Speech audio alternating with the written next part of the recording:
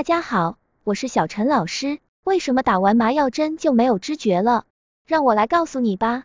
麻醉是指用药物或其他方法，使患者整体或局部暂时失去感觉，以达到无痛的目的进行手术治疗。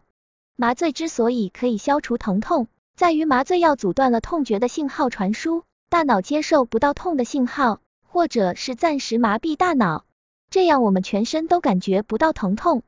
注射麻药，简单的讲，就是用化学药物阻止神经传递信号，让神经暂时失去了功能，人也就没有知觉了。过一段时间后，麻药被流动的液体带到别处去而失效，这样感觉就慢慢的恢复了。欢迎大家订阅关注我的频道，我会把更优质的内容分享给大家。